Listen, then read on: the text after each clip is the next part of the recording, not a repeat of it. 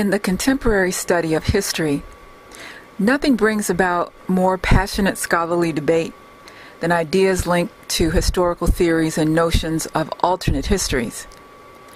Historiography tends to rest on the student's or scholar's ability to use intellectual creativity and imagination in the critical examination of the past.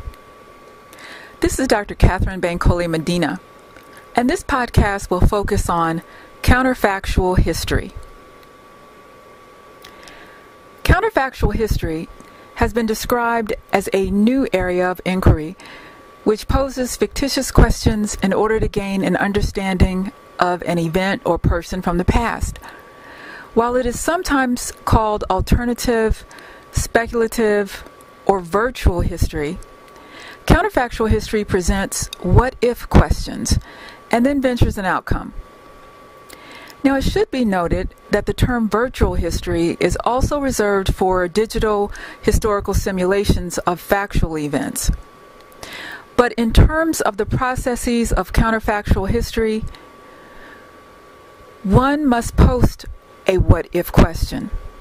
For example, what if people of African descent were never enslaved through the processes of the European slave trade from the 16th through the 19th centuries? What would that have meant for these people?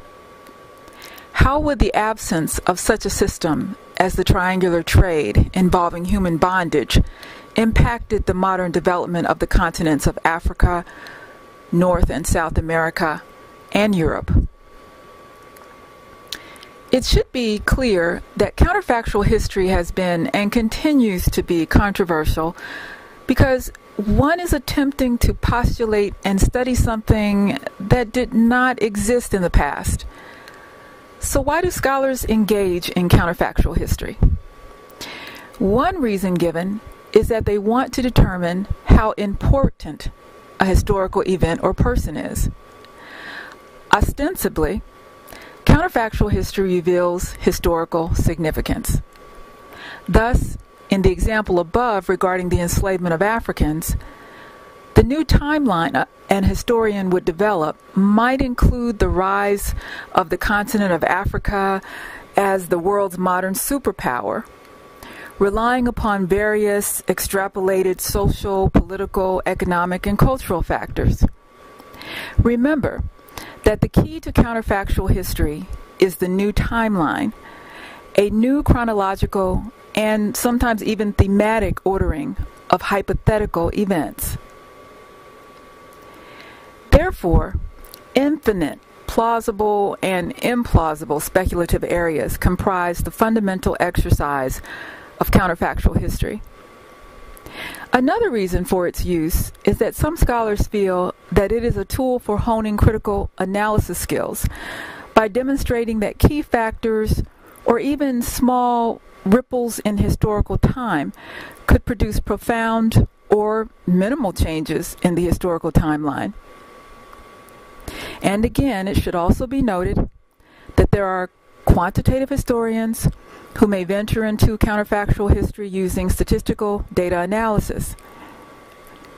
Advocates of this method do suggest that to engage in authentic, please excuse the play on words, counterfactual history, rather than alternate history, one must conduct a critical analysis of the hypothetical scenario using rigorous logic and reasoning. If you do not do this, then you are engaging in historical fiction.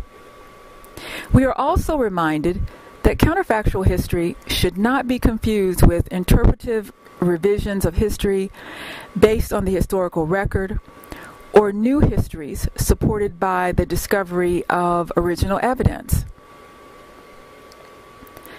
American popular culture, with respect to media, such as films and television and video games, seems to be fueled by counterfactual situations, especially in the area of history.